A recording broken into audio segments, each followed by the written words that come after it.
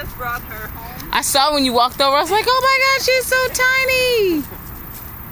Too cute.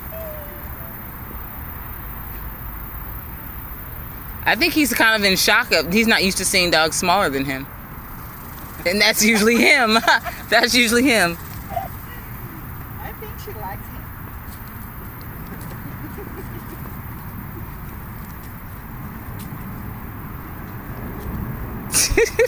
He's like, what do I do? I can't I can't jump on can't jump on this one.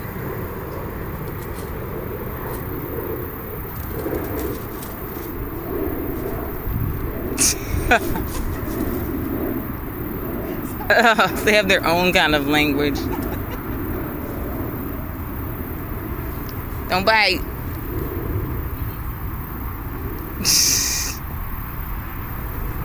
so cute. How old is she? A month? Okay. Wow.